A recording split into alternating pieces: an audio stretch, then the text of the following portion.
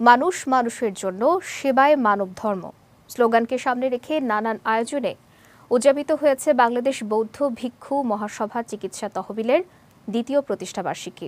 গতকাল নগরীর চান্দগাঁও সর্বজনীন কেন্দ্রীয় বৌদ্ধ বিহারে বাংলাদেশ বৌদ্ধ ভিক্ষু মহাসভা চিকিৎসা তহবিলের আহ্বায়ক ও বাংলাদেশ বৌদ্ধ কৃষ্টি প্রচার সংঘের সভাপতি ভদন্ত বুদ্ধপ্রিয় মহাথেরোর সভাপতিত্বে এর আয়োজন করা হয়। আয়োজনে আশীর্বাদক ছিলেন বাংলাদেশ বৌদ্ধ ভিক্ষু মহাসভার উনত্রিশতম সংঘনায়ক অধ্যাপক বনশ্রী মহাথেরো ও বাংলাদেশ বৌদ্ধ ভিক্ষু মহাসভা উপসংঘনায়ক সদ্ধর্মর্ষি রতনশ্রী মহাথেরো এ সভায় প্রধান অতিথি ছিলেন the federation of Bangladesh and commerce ইন্ডাস্ট্রিজের সদস্য লায়ন ডাক্তার মৃদুল কান্তি বড়ুয়া চৌধুরী।